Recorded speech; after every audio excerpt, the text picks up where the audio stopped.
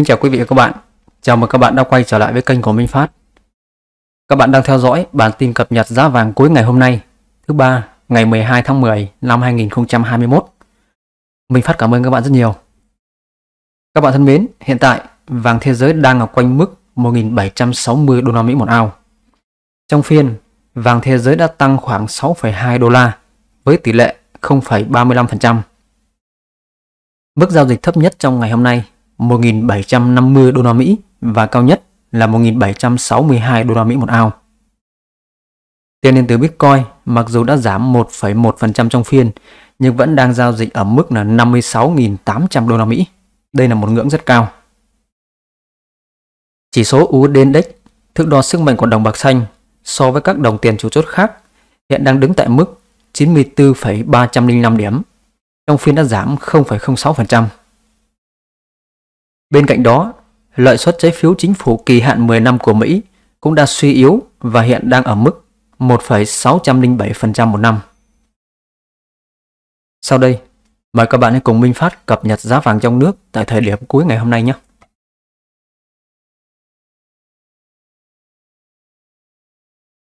Giá vàng SJC tại thành phố Hồ Chí Minh mua vào 57 triệu 350 000 đồng một lượng, bán ra 58 triệu 050 000 đồng một lượng, tăng 100 000 đồng một lượng cả chiều mua và chiều bán. Vàng SJC tại Hà Nội mua vào 57 triệu 350 000 đồng một lượng, bán ra 58 triệu 070 000 đồng một lượng, cũng tăng 100 000 đồng một lượng cả hai chiều mua bán. Biên độ giao dịch giữa chiều mua và chiều bán của vàng SJC là 700 000 đồng một lượng. Vàng Doji tại thành phố Hồ Chí Minh mua vào 57 triệu 200 000 đồng một lượng, bán ra 58 triệu đồng một lượng, giảm 50 000 đồng một lượng ở chiều mua và tăng 100 000 đồng một lượng ở chiều bán. Vàng Doji tại Hà Nội mua vào 57 triệu 150 000 đồng một lượng, bán ra 58 triệu đồng một lượng, tăng 150 000 đồng một lượng ở chiều mua và 100 000 đồng một lượng ở chiều bán. Biên độ chênh lệch giữa chiều mua và chiều bán của vàng Doji khoảng 800 000 đồng một lượng. Vàng PNG tại thành phố Hồ Chí Minh mua vào 57 triệu 350 000 đồng một lượng, bán ra 58 triệu 050 000 đồng một lượng, tăng 100 000 đồng một lượng cả chiều mua và chiều bán.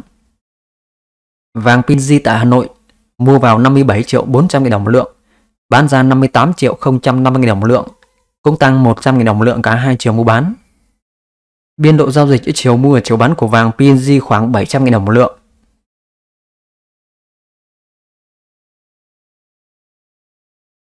Giá vàng SJC các tổ chức lớn và một số ngân hàng. Tại Phú Quý SJC mua vào 57 triệu 450 000 đồng một lượng, bán ra 58 triệu đồng một lượng, tăng 100 000 đồng một lượng cả chiều mua và chiều bán. Tại Bảo Tín Minh Châu mua vào 57 triệu 480 000 đồng một lượng, bán ra 57 triệu 990 000 đồng một lượng, tăng 110 000 đồng một lượng chiều mua và 100 000 đồng một lượng chiều bán. Tại Mi Hồng SJC mua vào 57 triệu 700 000 đồng một lượng, bán ra 58 triệu đồng một lượng, tăng 100 000 đồng một lượng chiều mua và 50 000 đồng một lượng chiều bán. Tại ngân hàng Eximbank mua vào 57 triệu 500 000 đồng một lượng, bán ra 58 triệu đồng một lượng, tăng 150 000 đồng một lượng cả chiều mua và chiều bán. Tại ngân hàng ACB mua vào 57 triệu 450 000 đồng một lượng, bán ra 57 triệu 950 000 đồng một lượng, tăng 150 000 đồng một lượng cả hai chiều mua bán. Tại ngân hàng SCB mua vào 57 triệu 500 000 đồng một lượng, bán ra 58 triệu 100 000 đồng một lượng, tăng 400 000 đồng một lượng ở chiều mua và 200 000 đồng một lượng ở chiều bán. Tại ngân hàng TB Bank Gold mua vào 57 triệu 150 000 đồng một lượng, bán ra 58 triệu đồng một lượng, tăng 150 000 đồng một lượng chiều mua và chiều bán điều chỉnh tăng 100 000 đồng một lượng.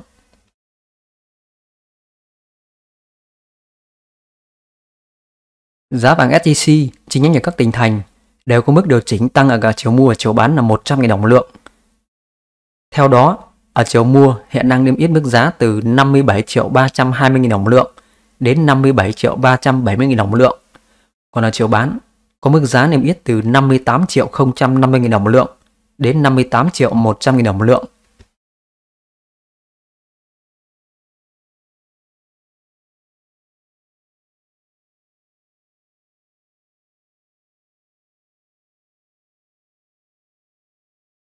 Giá vàng bút số 9, vàng nữ trang SJC.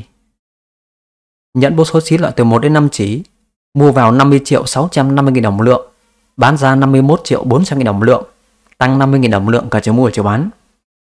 Vàng nữ trang bút số 9 mua vào 50 triệu 300 nghìn đồng một lượng, bán ra 51 triệu 100 nghìn đồng một lượng, cũng tăng 50 nghìn đồng một lượng cả hai chiều mua bán. Vàng nữ trang 24K mua vào 49 triệu 394 nghìn đồng một lượng, bán ra 50 triệu 594 nghìn đồng một lượng, tăng 49 nghìn đồng một lượng cả chiều mua và chiều bán.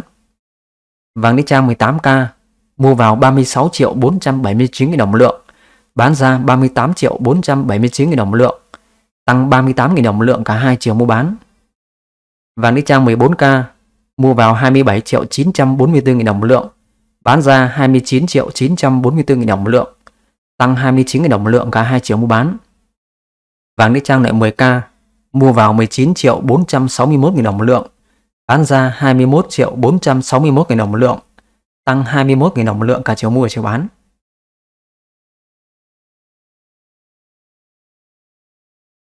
Các bạn thân mến, trong phiên giao dịch hôm nay thứ ba, ngày 12 tháng 10 năm 2021, giá vàng đã tăng nhẹ khi nhà đầu tư chờ đợi những tín hiệu về lạm phát của nền kinh tế Mỹ. Giá vàng trong nước duy trì chênh lệch khủng với giá vàng thế giới ở trên ngưỡng 9 triệu đồng một lượng. Giá vàng thế giới đã giằng co do ảnh hưởng của các yếu tố trái chiều. Lợi tức trái phiếu chính phủ Mỹ và đồng đô la tăng giá trên thị trường ngoại hối là những yếu tố giảm giá đối với vàng. Trong tuần này, một số thông tin quan trọng có tác động đến giá vàng chúng ta cần theo dõi là biên bản cuộc họp của Ủy ban thị trường mở liên bang dự kiến sẽ được công bố vào hôm thứ Tư ngày mai. Theo dự báo, vàng sẽ phản ứng nếu có bất kỳ điều chỉnh nào liên quan đến cắt giảm gói mua tài sản 120 tỷ đô la Mỹ mỗi tháng. Bên cạnh đó, quan điểm về việc nâng lãi suất trong tương lai của Fed cũng là điều mà giới đầu tư vàng quan tâm. Ngoài ra, nhà đầu tư cũng chú ý đến báo cáo các chỉ số giá tiêu dùng CPI của Mỹ với dự đoán lạm phát hàng năm sẽ duy trì ở mức là 5,3%. Bên cạnh đó, số liệu về đơn xin trợ cấp thất nghiệp lần đầu và báo cáo giá sản xuất PPI cũng sẽ ảnh hưởng tới đồng đô la và tác động trực tiếp đến giá vàng. Nhà phân tích Gus Stanford thuộc ngân hàng Commonwealth nói rằng với triển vọng chính sách tiền tệ của Mỹ tiến tới thắt chặt, giá vàng có thể sẽ gặp nhiều trở ngại trong việc tái lập mốc 1.800 đô la Mỹ một ao. Trên thực tế, giá vàng đối diện nguy cơ giảm nhiều hơn trong ngắn hạn nếu không giữ được mốc 1.750 đô la Mỹ. Thiết nghĩ vào phiên Mỹ tối nay theo giờ Việt Nam, chắc chắn thị trường vàng sẽ không có rung lắc mạnh khi mà đồng đô la và lãi suất kho bạc của Mỹ tăng điểm, gây cản trở trực tiếp lên đà tăng của giá vàng.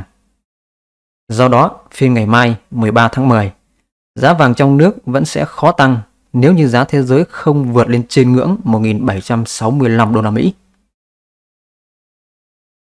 Rồi, bản tin cập nhật giá vàng cuối ngày hôm nay, thứ ba, ngày 12 tháng 10 năm 2021 trên kênh của Minh Phát đến đây cũng xin được khép lại. Minh Phát cảm ơn các bạn đã dành thời gian theo dõi video này. Chúc các bạn buổi tối sức khỏe, hạnh phúc bên người thân và gia đình. Nếu như các bạn cho rằng đây là thông tin hữu ích, các bạn đừng quên nhấn giúp Minh Phát một like, bấm đăng ký kênh và nhấn chuông để cập nhật những video mới nhất nhé. Xin trân trọng cảm ơn. Và bây giờ, xin kính chào và hẹn gặp lại.